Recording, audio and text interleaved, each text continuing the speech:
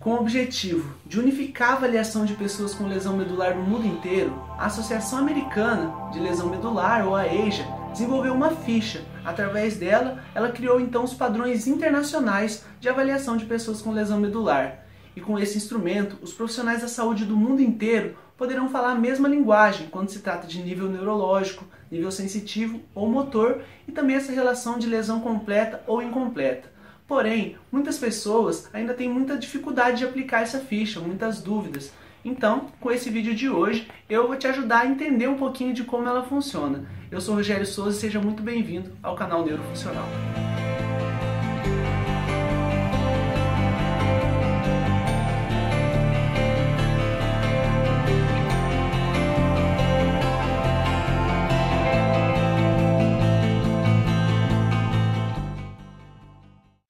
Então a ficha da EJA ela nos traz informações quanto ao nível neurológico, que é o que as pessoas falam, ah, o paciente é T12, o paciente é T6, isso é o nível neurológico, o nível motor, o nível sensitivo e o tipo de lesão, se é uma lesão completa, incompleta e qual a graduação, que vai de A a E.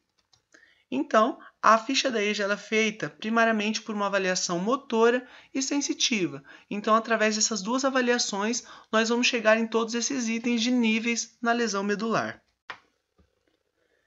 Esta é a ficha da EJA, bem simples de entender. Ela é dividida em hemicorpo direito e hemicorpo esquerdo. Então, você faz primeiro a avaliação motora e vai assinalando aqui nessa primeira coluna, do lado direito e do lado esquerdo depois a avaliação sensitiva por toque leve, que é feita aí com um pincel do martelo de reflexo ou com cotonete.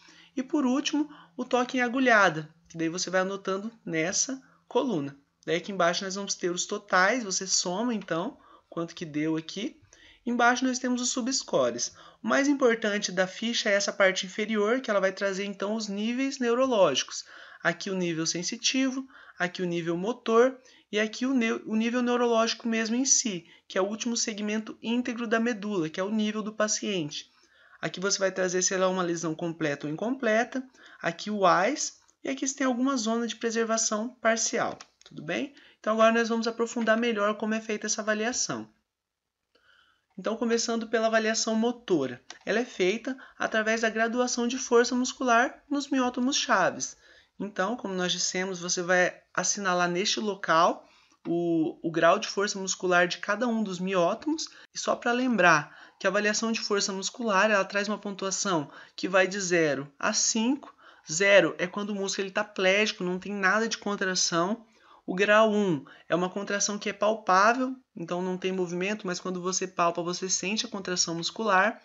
2. Tem um movimento ativo, a DM então ela chega a ser completa quando você tira a ação da gravidade. Contra a ação da gravidade ele não consegue realizar a amplitude completa, mas se você tira, ele consegue. Então é um grau 2. Já o grau 3 é quando você pede um movimento ativo e o paciente consegue fazer em toda amplitude contra a gravidade. 4 já é um movimento ativo contra uma resistência mínima, moderada, se nós podemos dizer assim, e 5, que seria o um movimento normal, que é com resistência máxima para cada indivíduo. Lembrando que também essa avaliação ela é um pouco subjetiva, mas é o melhor que nós temos para o momento, né? mais prático, se nós podemos dizer assim. E não testável é quando você não consegue testar, né, por dor, o paciente teve uma amputação, tá com um grau de mobilidade lá que você não consegue colocar na prova de teste, você coloca um NT no local lá da avaliação, tudo bem?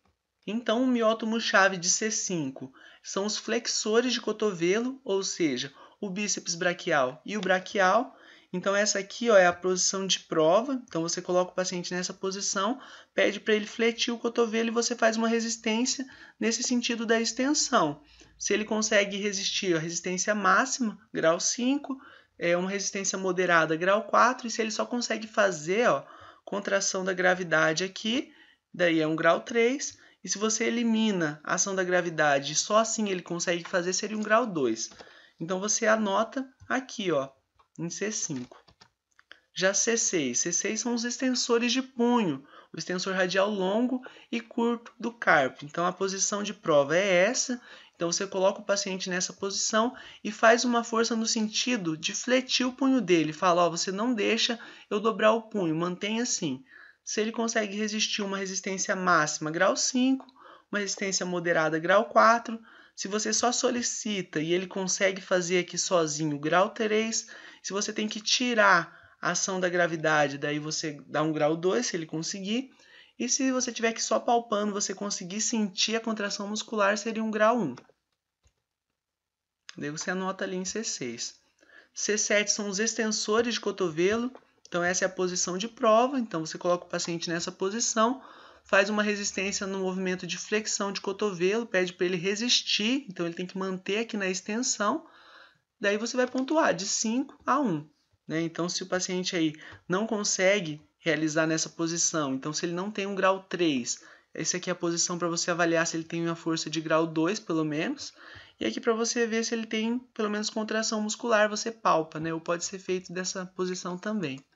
C8, então, é o flexor longo dos dedos. Então, ele é avaliado aqui no terceiro dedo, no dedo do meio. Coloque o paciente nessa posição de teste e faz uma força na extensão da interfalangiana distal. Se o paciente consegue resistir, então grau 5, uma resistência moderada 4. Se ele faz esse movimento de forma ativa 3. Se você elimina aqui a gravidade, ele consegue grau 2. Ou se só sente contração do músculo grau 1. Aí você vai anotando ali no C8 lá na, na ficha. T1, então, são os abdutores do dedo mínimo. Então, o abdutor do dedo mínimo é o músculo-chave de T1. Então, essa é a posição de prova. Lembrando que a resistência ela tem que ser feita aqui proximal do dedo mínimo, né? Que se você for fazer uma resistência aqui em cima, até para o indivíduo que é saudável, é muito difícil dele conseguir resistir. Então, a resistência é feita aqui na falange proximal. Daí você vai graduar conforme o grau de força que o paciente tem. Se você eliminou gravidade aqui e ele conseguiu, então é um grau 2, tudo bem? Então para os membros inferiores, lembrando que não tem miótomo no, no tronco. Depois nós vamos falar melhor sobre isso. Então, no membro inferior, o L2 é representado pelo ilho psoas, que, que então é um flexor de quadril. Então, essa é a posição de teste. Coloca o paciente nesse, nessa posição e faz uma resistência no movimento de extensão de quadril. Daí, se ele resistir 5, resistência moderada 4, se ele só fazer ativo 3, daí você elimina aqui a gravidade, se ele consegue fazer sem a gravidade 2 ou contração 1 ou nada 0. Tudo bem? Então daí você anota ali na ficha os extensores de joelho. Então essa aqui é a posição de prova. Você apoia aqui ó, a região poplítea do paciente no seu antebraço e deixa o joelho aqui numa quase uma extensão completa. Daí você vai fazer força no movimento aqui de fletir o joelho. Pede para ele resistir, daí você vai graduar. Não conseguiu? Então coloca sem gravidade aqui, tá bom? Ou senão você palpa para ver se tem contração do músculo. L4, então, são os dorsiflexores, então tibial anterior, essa é a posição de teste.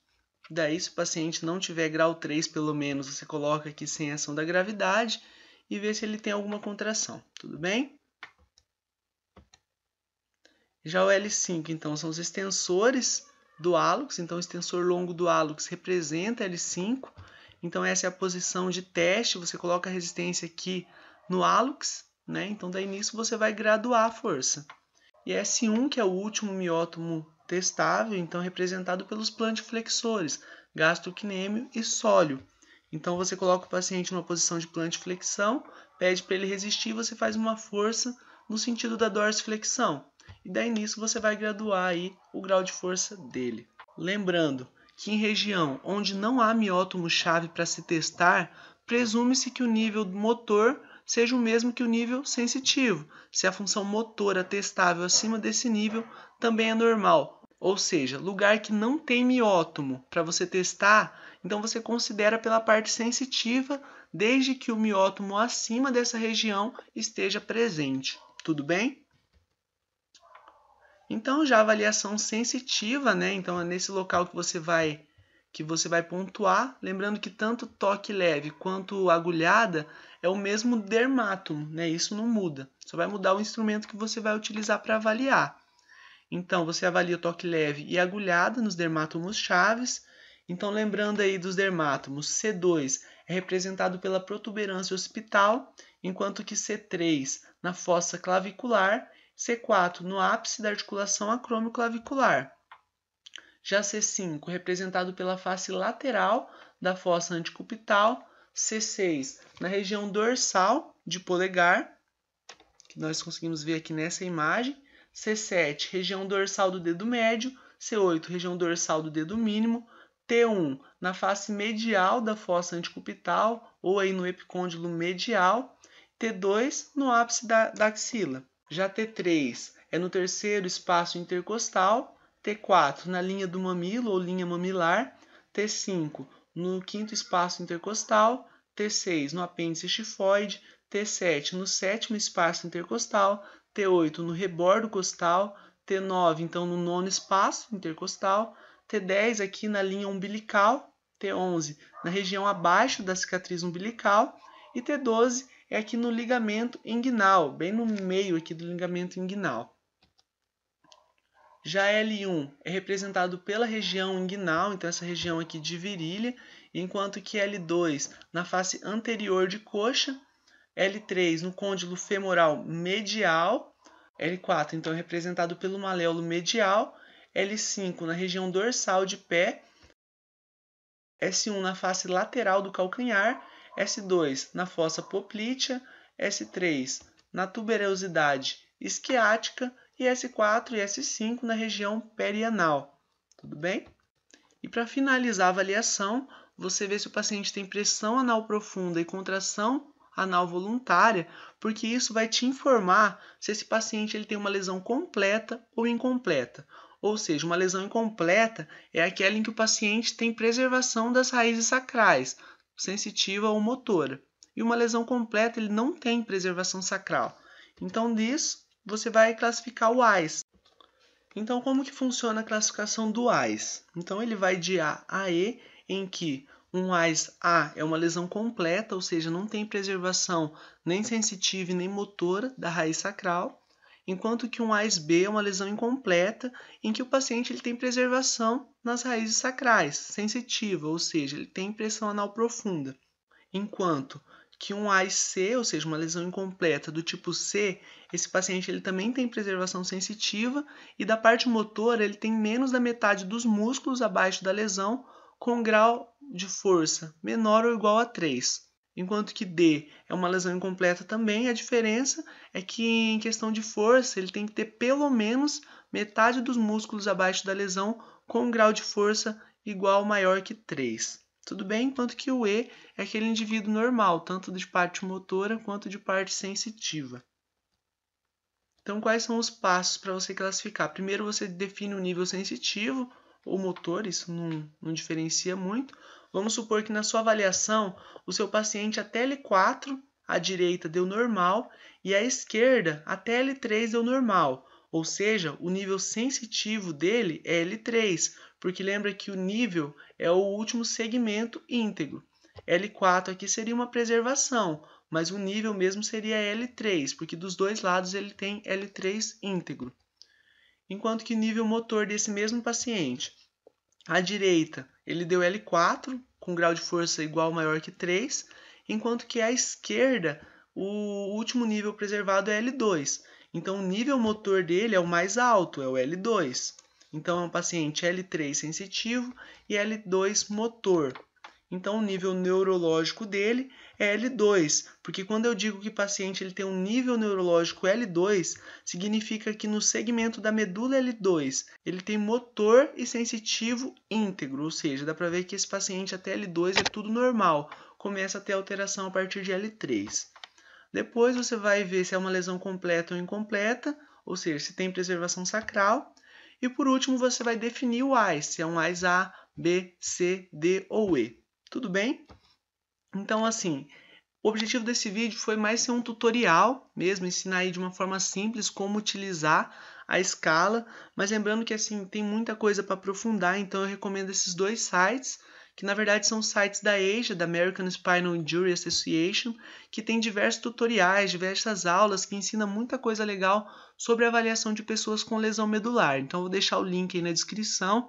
Se você tem interesse, clica aí que vale muito a pena. Se você tiver alguma dúvida também, lá eles esclarecem tudo. Então, por hoje era isso. Espero que tenha te ajudado, tenha tirado um pouco das dúvidas. Realmente, esse tema é um que cria bastante dúvida na hora de avaliar. Então, espero que tenha ajudado. Se você gostou, deixe o seu curtir, se inscreva no canal. Isso ajuda bastante a gente. Também compartilhe o vídeo lá no Facebook, que assim você ajuda bastante o meu trabalho aí. Fique com Deus. Até a próxima.